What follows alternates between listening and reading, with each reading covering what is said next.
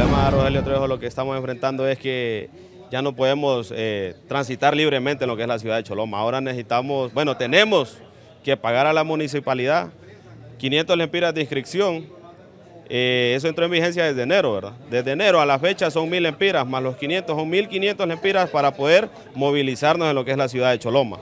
Más aparte de eso, tenemos que ponernos al día porque nos están cobrando 8 lempiras diarios, ¿verdad? Entonces no podemos nosotros seguir trabajando de esta manera si los policías municipales nos andan persiguiendo como que fuéramos delincuentes. Nosotros no somos delincuentes. Si usted ve aquí gente, gente con palas, que son los cargadores, tenemos choferes, tenemos dueños de carros, trabajadores que nos ganamos el día, pues, día a día. Es por eso que les hemos llamado a las autoridades correspondientes, a la fiscalía, que, vengan y, a chequear el abuso de autoridad que estamos teniendo aquí, ¿verdad? ¿Están haciendo unos formularios tipo esquela?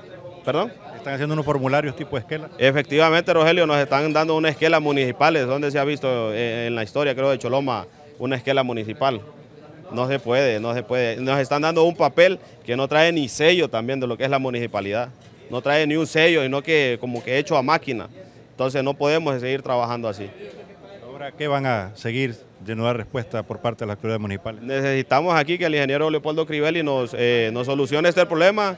De no haberlo así, entonces eh, estamos eh, en toda unidad de unirnos ahí con lo que es los taxistas y servicios contratados para poder hacer un paro mucho más grande, ¿verdad? Espero compañeros taxistas, cholomeños, pueblo hondureño que nos escucha, que se nos unan porque es un atropello lo que nos están haciendo, es un abuso de autoridad. ¿Cuántas familias son afectadas? Eh, en lo que es el área de la volqueta estamos hablando de un aproximado de 500 familias. El problema que tenemos es que nosotros, yo toda la vida he trabajado con volquetas, todo Choloma me conoce, eh, soy cholomeño.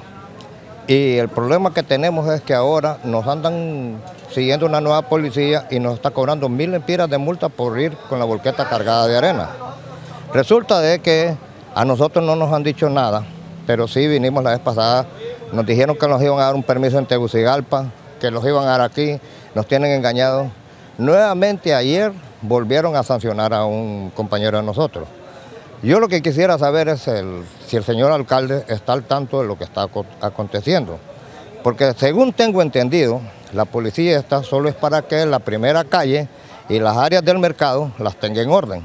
No para que vaya a parar a la, a la doble vía a todo vehículo que pasa.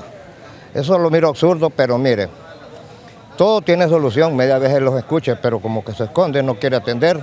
Si él ya no puede con la carga, que la suelte. Porque yo miro que tiene mucha presión y así no se puede gobernar.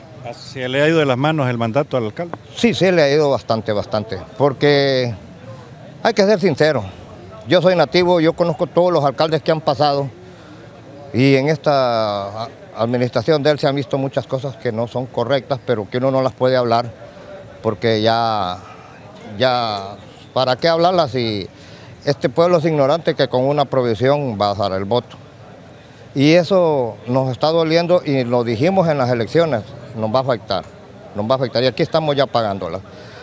El problema va a ser cuando ya el pueblo despierte en sí y se ponga todo con esto. Se le va a ir de las manos porque un pueblo descontrolado también viene la gente de los saqueadores y gente que no es de la que, que no anda en lo que anda y eso perjudica.